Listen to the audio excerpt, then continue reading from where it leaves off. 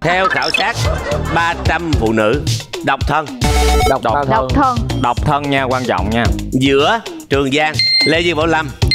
Mạc Văn Khoa. Mạc Văn Khoa BB Trần Chuân Phạm Chris Phan Liên Bình Phát. Ủa liên minh phát trong này Ai? nữa vậy? thì có phải có người đẹp nhất châu Á vô chứ đẹp Đúng top châu. Á vô à, chứ. Đúng rồi. Ai là người họ không muốn hẹn hò nhất? Câu hỏi này tôi không cần suy nghĩ cần suy nghĩ bất cứ một giây nào khi nghe đến câu hỏi này, tôi xin trả lời thẳng thắn là lê dương bảo lâm. Ác trời. Luca ơi Luca ơi em trong 300 người đó hả? Em là ba trăm người đó trong uh, gia đình em là có mẹ em chị em trong đó luôn nè. Là hết ba người rồi. Không cái này em em nín đi anh lâm anh lâm cái này em bên anh lâm nè. Ví dụ như mà em chọn đi hẹn hò đi thì em sẽ vẫn chọn những người nói nhiều như anh lâm hoặc là Vui vui tính hài hước Vui rồi có chuyện để nói. Thế nên là cái này em bên anh là anh không có phải là cái người đúng rồi. loại bỏ kinh khủng như vậy đâu. Ví dụ em như nghĩ là trong những cái đáp án đấy chỉ có hai anh em mình thôi. À, cái phần trăm là là cao nhất. Là thu nhất Em không đồng ý đâu tại vì em thân Lê Dương Bảo Lâm lắm. Em biết Bảo Lâm có rất là nhiều người đeo đuổi. Trời anh lâm! Nếu vậy là chỉ còn em thôi. Lâm nhớ chuyển khoản chị nha. Mới nói được câu đó đó. Cho em uh, phân tích tại sao em chọn lê dương bảo lâm à Vâng. nhưng mà bây giờ mình nói không không người ta không phục. Đâu? Dạ. Ừ, đàng hoàng. Cho em ra giữa đây nói ơi. à tôi là danh nhân thành đạt rồi này nọ nha. Em uh, xin đến với bài thuyết trình của mình ạ. Vâng. Nếu như trong những chọn lựa những người mà mình có thể hẹn hò Đầu tiên là anh Trường Giang đi. Một người anh cũng ờ, khá là hài hước. Trong một buổi hẹn hò mình cũng sẽ rất là vui Và thấy thú vị. Nhưng mà anh có một cái sự điềm đạm và gọi là ga lăng chiều chuộng Thì ok em sẽ chấp nhận hẹn hò với anh. Đó là một, gọi là một cái um, Anh gọi là best seller trong cái đó đi. Rồi tiếp theo là có chun. Anh đẹp trai một mẫu người của bao nhiêu người mơ ước. Vừa đẹp trai vừa lịch sự vừa tri thức. Nói chung là nói vô là mình cũng muốn hẹn hò. Bên cạnh đó là Liên Minh Phát. Top gì ạ? Top 100 gương mặt đẹp của châu Á. Trời ơi được đi với ảnh nó hãnh diện vô cùng. Rip Van mặc dù đôi khi có hơi chị chị em em một chút. Nhưng nhìn cũng sạch sẽ. Sạch sẽ cũng là một người đàn ông của gia vậy đình em mình không sạch rồi? Cho nên là cũng có thể mình sẽ có khả năng Cũng có thể hò. tiếp theo nữa là BB Trần. Cũng là top à. Top những người hài hước à. Trong lúc em buồn thì em có thể rủ chị em đi ra ngồi nói chuyện tâm ủa sự. gì vậy? Hẹn hò mà ê ngày xưa tôi có bạn gái nha cô gái.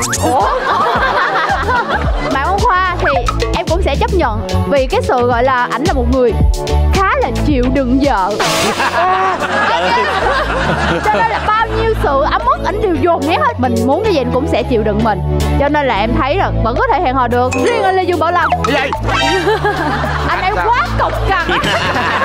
Mặc dù anh hỏi một cái câu không hề cọc. Ví dụ như em bán gì vậy?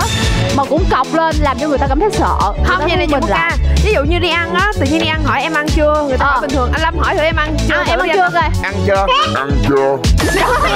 Hỏi như vậy? Ai mà Rồi, Hỏi giống như là ăn muốn gì, ăn đòn. ăn gì? Em muốn ăn gì? Khoan nhân đây em xin kể một câu chuyện về Lê Dương Bảo Lâm và người chị nữa hả?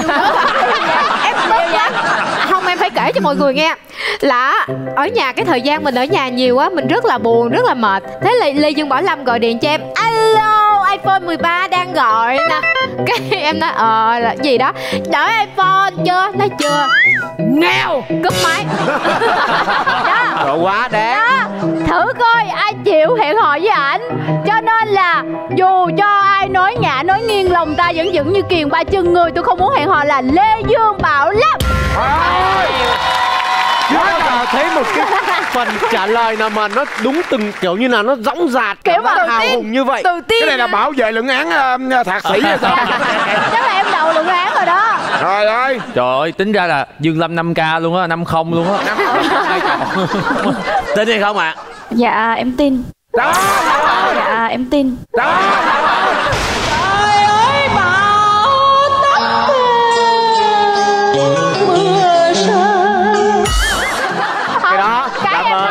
đó không mới là tổn thương á. Anh em với nhau thân thiết Trời quá nói tội rồi nghiệp Quỳnh luôn á Thiệt á như là em là đồ dạt của thế giới không em Quỳnh ấy thương quá dễ lụm đem về hay sao á. em về phải thương Quỳnh hơn Không có la Quỳnh Đúng nữa. rồi phải thương vợ hơn. Anh đừng có bắt người ta ăn chưa? Thôi đi. Đây chỉ là một khảo sát vui thôi. Chưa có kết quả mà. Ủa, Chưa kết quả chính xác quả Đập điện thoại rồi anh ơi. Thật ra đó là 300 tính cách của bà nhân biên tập á.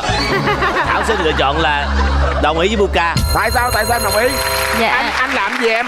Dạ người ta để Mà mấy Đó, mà em anh em làm em cái này anh đang làm vậy đó Đó, anh đang em làm đang- vậy đó. Bây giờ nếu đẹp em đẹp anh đẹp hơn mặt Văn Khoa mà. Như vậy người ta mới nói nè. Nói một câu cho người ta cảm thấy là lựa chọn của người ta là sai cười hoa hậu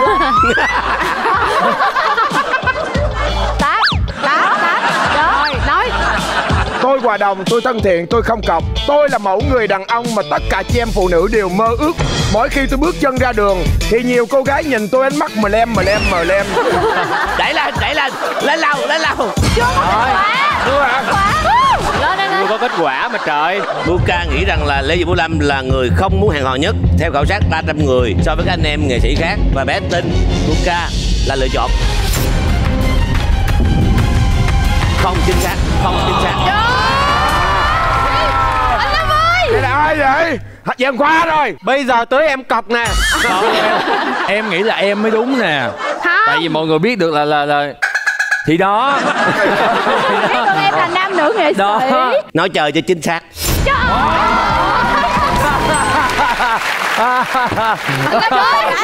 Cái gì vậy? Thiệt á hả? thiệt. Ai? Ai khảo sát? đây cao nhất đó chính là liên bình phát. Ơi à. Đúng rồi. Em có gì em thua Phát chứ? Ủa thua hết Em luôn. đẹp hơn Phát mà. Em là vô top của đồng nai thôi chứ chưa vô top châu á Nói vậy nữa đừng nói vậy đứng yên Chuân Phạm 25% 15% Kế tiếp đó chính là Chris Phan. Wow. dữ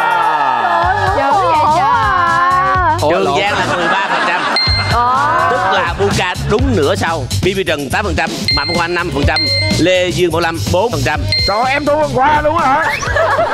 Đó có 5% chị em phụ nữ trong đây. Tôi không muốn hẹn hò ai hết. Trời ơi. Trời năm người nào đúng đắn vậy? Bao nhiêu bác sĩ làm nên cái gương mặt này Mà không chịu tôi? Một dấu ít nữa thuộc về Thảo Sinh xin chúc mừng. Trời ơi tức quá thiệt á. Nếu như mình thì mình có chọn à, Lê Dương Bảo Lâm không? Dạ. Ngừng rồi rồi ngập ngừng rồi thôi được rồi em thấy thở oxy rồi.